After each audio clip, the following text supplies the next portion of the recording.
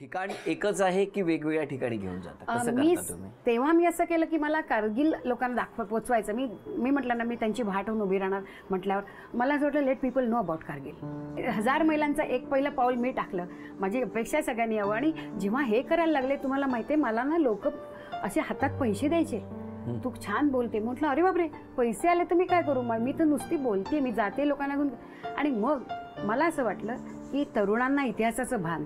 वर्तमानाची जाण आणि भविष्याची स्वप्न द्यायची असेल तर मला फाउंडेशन करायला हवं. छोटा जीव आहे आमचा. म्हणजे टिटविनी का धरली आहे दर्याची हाव असेल पण आज लक्ष फाउंडेशनच्या अंतर्गत जेव्हा मी आता बोलते आहे तेव्हा एक मी तरुणांपर्यंत वेगवेगळ्या गोष्टी या सांगते. कारण लकीली काय झालं माझ्या या कामामुळे मला सैन्य दलाकडनं खूप छान प्रतिसाद मिळाला. I was. फॉर्च्युनेट जसं समाजाकडनं मिळत गेला ना आज ही सगळी का जोडली आहेत आपापली कामं सोडून कारण त्यांना त्यातला भाव कळतोय. आज प्रत्येकाला आपलं काम आहे. माझं म्हणणं मी सोडली नोकरी कारण मी नाही जस्टिस देऊ शकले. पण माझी अपेक्षा नाही सगळ्यांनी सोडावी. पण सैनिक कळला पाहिजे ती बोलायची गोष्ट नाही. ती अनुभवायची गोष्ट आहे. आणि तो अनुभवायचा असेल तर आज ज्या घरांमध्ये तो सैनिक आहे ना त्यांच्याशी संवाद साधा. तुम्ही ध्येय काय ठेवलेलं माझं ध्येय एकच आहे की जर आम्हाला बॉलिवूडचं सगळं माहिती आहे जर आम्हाला क्रिकेटमधलं सगळं माहिती आहे जर आम्हाला राजकारणातलं सगळं माहिती आहे तर ॲज अ समाज माझी ही जरुरी आहे की ज्या आम्ही इथला जो फ्रीडम घेतो जो आम्ही स्वैराचारासारखा वापरतोय freedom is not free every day soldier gives is life so that you can live yours आज जो झेंडा फेरतोय ना तो सैनिकाच्या श्वासावर फेरतोय तुमच्या माझ्या नाही.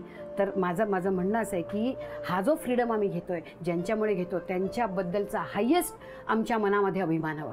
आम्ही त्यांच्याबद्दल सातत्यानं बोललं पाहिजे. त्यांच्या सुखदुःखाची आमची नाळ जुळली पाहिजे. आम्हाला माहिती हवेत कोण परमवीर आहेत कोण वीरचक्र आहेत कोण आमचे जवान आहेत आज ते कुठल्या परिस्थितीत आहेत आज ते काय करता आहेत हे आम्ही जाणून घेतलं पाहिजे. आज आपण इथे बसून जे बोलतो ना युद्ध करायला काय जातं? युद्ध मला वाटतं ना सैनिक दला सैन्य दलाबद्दल आपण बोलू नये. तुम्हाला माहिती नाही युद्ध म्हणजे चिखल आहे रक्तामासाचा. युद्ध म्हणजे कित्येकांची स्वप्न धुळीस मिळवणं आहे. युद्ध म्हणजे कित्येक गोष्टी आपल्याला माहिती नाहीत अशा होणं आहे आपली मुलं जेव्हा तिथे नाहीत ना तेव्हा तर आपण काहीच बोलू नये. पण ही जी सगळी मुलं आहेत ती आपली आहेत तेव्हा इतक्या सहजी हे करून टाका ना. ते लोक फार बोलतात आदेश वाटेल ते बोलतात. समजून घेतला पाहिजे जवान तुम्ही. पास नाही कुछ भी देने को अपना यौवन देता हूं असं म्हणणारा जवान आहे. आम्ही त्याचं जवानी चुसतो. जसं ध्येय तुम्ही सांगितलं तसं तुम्ही सध्या काय करताय? लक्ष फाउंडेशन करण्याच्या मागे एक होतं की एकतर माझा दोन तासाचा कार्यक्रम असतो ऋणानुबंध सैनिकांची कारगिल शौर्यगाथा ज्याच्यात मी माझा हा पंधरा वर्षाचा प्रवास मी पी ओ पीज अटेंड केलेला टी सी पीजवर भेटलेले सैनिक. म्हणजे काय? पासिंग आउट परेड्स की ज्या जवानांच्या ज्या होतात म्हणजे जे अफसर झाले ना की त्यांची पासिंग आउट परेड होते मग त्यांच्या खांद्यावर बॅचला okay that is passing out parade ह्या पासिंग आउट परेड्स मी अटेंड केल्या. Traffic checkpost T C Ps T C P म्हणतो. आपण ह्या ज्या प्रांतांमध्ये फिरतो ना तेव्हा तुम्हाला असं माहिती आहे का तिथे बंगरमध्ये काय चौकोनी खिडकीत माणसं बसलेली असतात. त्या ट्रॅफिक चेकपोस्ट ते बघतात तुम्ही जाताना खालून. ते एक एकटे वर असतात. आमची लोक फिरायला गेली तिकडे निघून जातात. त्याला जाऊन भेटायला. मी साधारण चार वर्षापासून असा जी चोवीस तासवरचा कार्यक्रम बघून अनुताईला कॉन्टॅक्ट केला होता. साधारण तीन वेळेला फोन केल्यानंतर तिने मला वेळ दिली कारण माणसं पारखून घेते ती. त्याच्यानंतर मात्र आज गेली चार वर्ष आमचे जे संबंध आहेत अशीच भरती नाही होत. आता आणि कसं आहे म्हणजे काही माणसं तिची जी देशभक्तीची भावना आहे ती इतकी प्रखर आहे ना म्हणजे आता या मुलाखतीतही जाणवलं किती वेळा तिचा गळा भरून येत असतो. हे अनेक वेळेला ती हेच बोलत असते पण ही भावना तेवढीच तीव्र असते. काही माणसं कशी सांसर्गिक आनंदी असतात त्यांना भेटल्यानंतर आपल्याला प्रफुल्लित वाटतं तशी ती सांसर्गिक देशभक्त आहे. तिला भेटल्यानंतर आपल्यामधली सुद्धा प्रत्येक भारतीयामध्ये सुप्त देशभक्ती आहे. पण. ती जागृत करण्यासाठी तिच्या सहवासात आल्यानंतर जे होतं ना ते फार वेगळं असतं. म्हणजे आपण त्याच्यामध्ये तिच्याबरोबर ओढले जातो. आणि चार वर्ष आता आम्ही त्याच्यात आहोत आणि फक्त सहाशे लोक नाही आता जवळपास तिच्या साडेसहाशे कार्यक्रमांमधून अंदाजे दहा ते वीस हजार लोकांपर्यंत ही भावना पोहोचली आहे. आम्ही साधारण पंधरा ते वीस हजार ती पुस्तकं विद्यार्थ्यांमध्ये मोफत वाटलेली आहेत. त्या माध्यमातून काही लाख लोकांपर्यंत आपल्या कारगिलच्या वीरांच्या शौर्यगाथा आणि त्या भावना पोहोचलेल्या आहेत. म्हणजे असं नाही जास्तीत जास्त लोकांपर्यंत हे सगळं पोहोचवणं गरजेचं आहे आणि त्याच्यासाठी प्रयत्न फाउंडेशनकडनं भरपूर चालू असतात. मग अशी म्हणल्याप्रमाणे माझ्या एका डॉक्टर मित्राकडून मला कॉन्टॅक्ट मिळाला. तेव्हा मग मी लगेच फोन केला तिला. तर ती म्हणली म्हणजे एकदम अशी रिझर्वड होती. म्हटली की मला भेटायचं आहे बघा तुम्ही रिझर्व. भेटल्याशिवाय बघा काय काय हिटलर आहात. रिझर्व बघा मला आज कळतंय हा मला तुझ्याशी भेटावं लागेल. मग मी लगेच वेळ घेतली आणि भेटायला आलो. तर ती भेटणं म्हणजे it was not an interaction म्हणजे ती मुलाखत होती असं म्हणायला हरकत नाही. तिनं पूर्ण पारखून घेतलं की मला खरंच किती इंटरेस्ट आहे. का मी आपलं फिरायला जायचं आहे मला कुठेतरी? इकडं जायचं आहे महाबळेश्वरला जायच्या म्हणजे ऐवजी चला आपण इकडे जाऊ यांच्याबरोबर म्हणून चाललो आहे की काय? असं तिला पारखायचं असतं. प्रत्येक माणसाबरोबर ती म्हणजे आता चाळीसच का? हा जो मगाचा प्रश्न होता. त्याचं कारण हे आहे की हा टेरेन जो आहे हा सोपा नाही आहे तिथं गेल्यानंतर खूप नॅचरल कॅलॅमिटीजला तुम्हाला टक्कर द्यावी लागते. मागच्याच वर्षीचं उदाहरण आहे जेव्हा ती पंचेचाळीस लोकं नेलेली होती तिनं तेव्हा ते दोन रात्री ते एकाच ठिकाणी त्यांना प्रचंड पाऊस होता पुढचे रस्ते वाहून गेले होते. त्यांना एका शाळेत राहावं लागलं तिकडे. बसमध्ये रात्र काढावी लागली त्यांना. तर ह्या सगळ्या टक्कर कोण देऊ शकेल? आणि खरंच कोणाला आवड आहे ह्या सगळ्या गोष्टी करण्याची? कोणाला खरंच देशभक्ती आहे? कोण खरंच पॅशिनेट आहे याच्याबद्दल? अशीच माणसं ती पारखून घेऊन जात असते. बोला. मी आत्ताच शाळा सोडली माझी दहावी झाली माझी. आणि नववीपासनं अनुवादजीने मला सांगितलं की तुला आता लक्ष फाउंडेशनबरोबर काम करायचं आहे आणि आता तिच्याबरोबर मी बऱ्याच शाळांमध्ये जाते. तिचं प्रेझेंटेशन ऐकून ऐकून तयार होती आणि माझ्या पुढे माझ्या पुढच्या जनरेशनला पण कळलं पाहिजे की हे काम किती मोठं आहे. देशाबद्दल प्रत्येकाला अभिमान बाळगला बाळगता आला पाहिजे. आजीची पणती. म्हणजे नात आहे. पण तिने पणतीत प्रज्वलित केली आहे.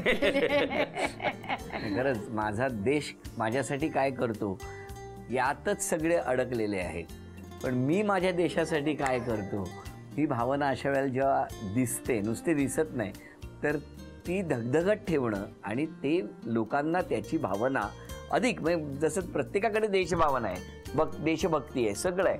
पण ती कुठेतरी ना कुणीतरी कधीतरी पेटवावी लागते. मला असं वाटतं की हे फार मोठं वेगळं कार्य तुमच्या हातून घडतं आहे. तुमचं काय म्हणणं आहे या माऊलीबद्दल? अतिशय चांगली सुगरण आहे. हां. स्वयंपाकाच्या बाबतीत असं काही म्हणजे हे सगळं असं ॲक्टिव्हिटी असून काही करत नाही किंवा लक्ष नाही असं काहीच नाही आहे. गॉट फुल दिस थिंग पण स्वभावाने शांत असतील चिडत वगैरे कधी आता त्याच्यासाठी काय माहिती स्वभाव थोडासा एक आहे. मिनिट तुमचे एक्सप्रेशन का बदलले? आमचं ठीक चाललंय ना. तुम्ही त्यात बिघाड का घालताय? नाही it is it is a known fact थोडासा तिचा दा- दापट स्वभाव आहे. होय ना हां. पण आय एम अकस्टम टू मला त्याच्यात सवय झालेली आहे. त्यामुळे मी ते म्हणजे तसा त्रास करून घेत नाही तेव्हा पण तिच्या स्वभावातला जेव्हा माझी आमचं म्हणजे लग्न झाल्यानंतर तिच्या स्वभावातले जे काही तिचे गुण आणखी तिचं काही स्पेशालिटी मला बघत गेलो तेव्हा तेव्हा मला असं लक्षात आलं की नाही ह्या गोष्टीचा जो आहे त्यात आपला म्हणजे माझा असं झालं की माझ्या आयुष्याचा दृष्टिकोन बदलला.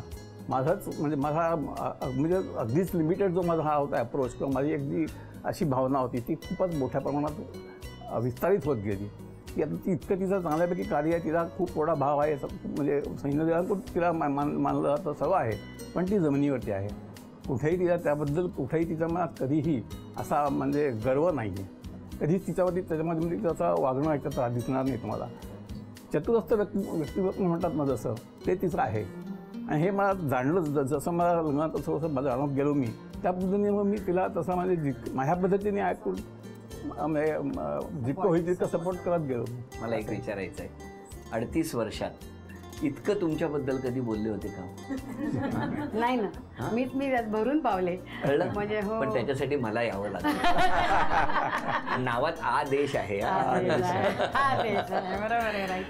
सगळ्यात महत्त्वाची गोष्ट की या ठिकाणी आलो जेव्हा संवाद सुरू झाला तेव्हा नेमकं काय कार्य आहे हे कोणालाही माहिती नव्हतं. या कार्यक्रमातनं मला समस्त महिला वर्गालाही सांगता येईल की प्रत्येकाने सीमेवर जायची गरज नाही. मुळात प्रत्येकाने भारतीय व्हावं आणि ही जी सीमेवर मुलं आहेत किंवा जी सैन्य दलात मुलं आहेत आर्मी नेव्ही एअरफोर्स कुठलेही युनिफॉर्म त्यांच्या फॅमिलीजना प्लीज प्लीज जाऊन त्यांच्याशी संवाद करा त्यांच्या मुलांशी बोला त्यांचा घरी जाऊन अभ्यास घ्या. आणि त्या माऊलीला एवढंच सांगा की बाई गं तुझा मुलगा सैन्य दलात आहे म्हणून मी आज माझं आयुष्य अतिशय चांगल्या पद्धतीने जगते आहे हा एहसास जरी आम्ही दिला.